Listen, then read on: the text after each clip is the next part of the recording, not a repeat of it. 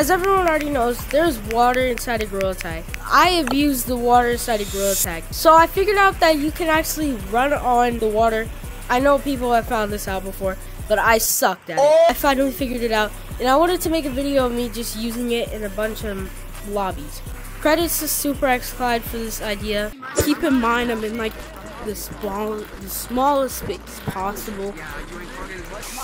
Oh, oh gosh! Come on, come on, come on! Dang it! What? What? My Oculus controller is tracking! No, no, no, no, no, no, no, no, no! I need to stay in the water. I don't know where any lava monkeys are. It's a race. Who wants to do a race? You want to race me? Not me. I don't.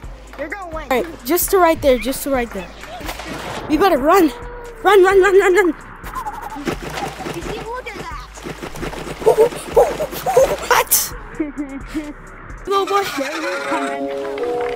Ugly top hat, top hat. So basically, I'm abusing water. Basically, that means that I can only stay in water use water running. So can you attract as much people to get inside of the water as possible? I think he understood it.